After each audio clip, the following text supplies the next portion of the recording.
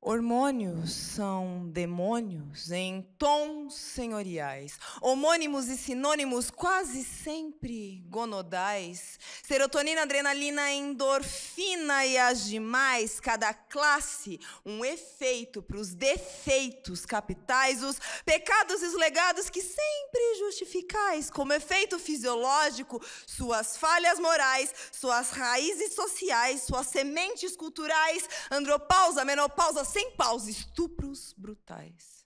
Hormônios não são demônios. Testosterona é que pinta, progesterona vai à lona nessa febre faminta. Desculpas animalescas para algo tão racional só provam a tal dantesca hipocrisia colossal, patriarcal por natureza e com destreza estrutural, a certeza da impunidade, fraternidade fecal, alicerce em profundeza, quase lei universal.